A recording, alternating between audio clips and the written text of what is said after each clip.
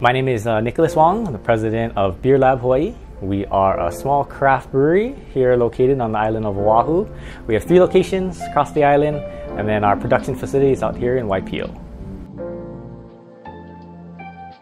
We utilize natural gas from uh, Hawaii Gas here in our brewery uh, to heat all of our liquid, all of our wort.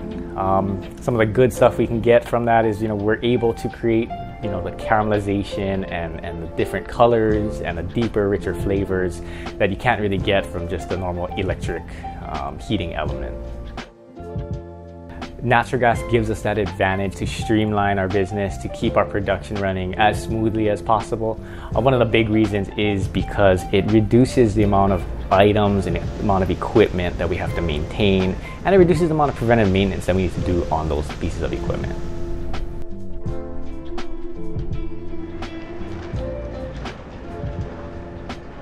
It is vital and important to our company to stress sustainability.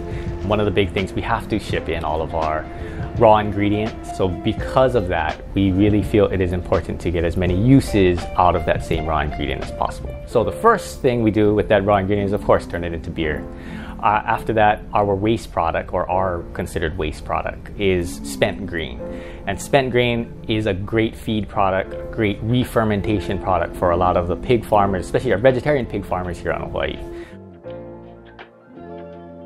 Partnering with people like Hawaii Gas, it's really, really important for our business. Sustainability, you know, across the board, all the way from our utility providers, all the way down to, you know, our customers and our, you know, our wholesale accounts. It really is important to really streamline everybody from top to bottom and really get everybody on the same page about sustainability.